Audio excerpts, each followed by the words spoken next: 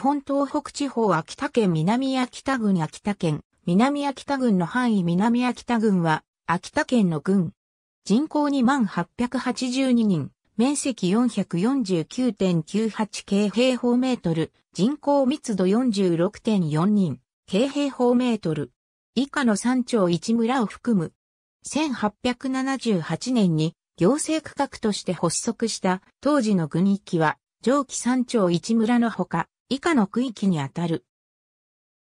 秋田市1、土崎港町2、五十目村3、船越村4、船川村5、北磯分村6、川尻村7、寺内村8、広山田村9、太平村10、下旭川村11、上旭川村12、外旭川村13、飯島村14、下新城村15、上新城村16、金足村17、大久保村18、飯田川村19、豊川村20、下井川村21、上井川村22、大川村23.1日市村24、面方村25、馬川村26、馬場目村27、富津内村28、内川村29、天皇村30、原井戸村31、脇本村32、南磯分村33、戸賀村34、小賀中村35.5里郷村36、片西村。ありがとうございます。